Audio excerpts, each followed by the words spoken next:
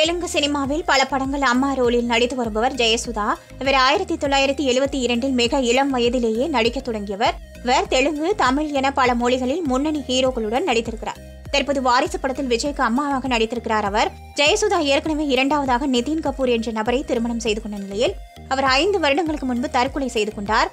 இந்நிலையில் ஜெயசுதா தற்போது மூன்றாவது முறையாக ஒரு தொழிலதிபரை திருமணம் செய்து கொண்டிருப்பதாக தெலுங்கு மீடியாக்களில் செய்திகள் வெளியாகியிருக்கிறது தற்போது ஜெயசுதாவுக்கு அறுபத்தி நான்கு வயதாகும் நிலையில் இந்த செய்தி ரசிகர்களுக்கு அதிர்ச்சி ஏற்படுத்தியிருக்கிறது. இந்த செய்தி உண்மையா இல்லையா என்பது பற்றி நடிகை எதுவும் இதுவரை விளக்கம் தெரிவிக்கவில்லை என்பது குறிப்பிடத்தக்கது. இந்த மாதிரி நியூஸை கண்டினியூஸாக கேட்க ராஜ் டியூப் சேனலுக்கு லைக் பண்ணுங்க ஷேர் பண்ணுங்க சப்ஸ்கிரைப் பண்ணுங்க பெல் பட்டனை ப்ரெஸ் பண்ண மறந்துடாதீங்க.